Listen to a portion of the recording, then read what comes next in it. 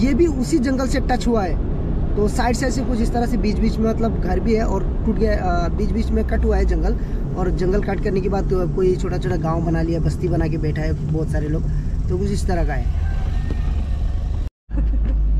जंगल देखने के लिए और ये जंगल बहुत ही फ़ेमस है ना तो इसके लिए बहुत सारे लोग आ जाते हैं यहाँ पे टूरिस्ट घूमने के लिए, देखने के लिए। तो कुछ इस तरह का ही। है और ये और पूरा जंगल ही जंगल है। आपको लगभग